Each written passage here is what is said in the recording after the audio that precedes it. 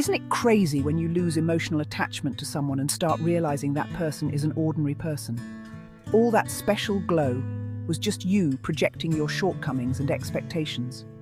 When you are empty inside, your mind clicks and you start projecting a hero onto a completely ordinary person, transforming the ordinary into extraordinary, creating people out of your own needs.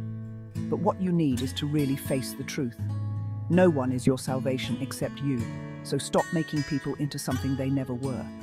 When you stop looking for saviors, you start saving yourself.